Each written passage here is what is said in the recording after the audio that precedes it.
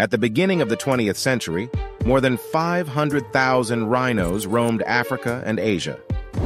Today, only 5% of that number remained.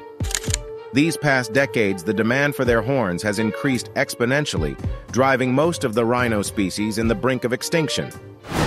One subspecies, the northern white rhino having only two females left, is declared as functionally extinct. A mainland subspecies of the Javan rhino was declared extinct in Vietnam in 2011. In the East, the horns are used in traditional medicine and even became a status symbol for the rich. A rhinoceros horn is more valuable by weight than gold, diamonds, or even cocaine. Poachers literally drool when they see these animals in the wild, as prices for their horns can fetch up to $400,000 per kilogram in the black market.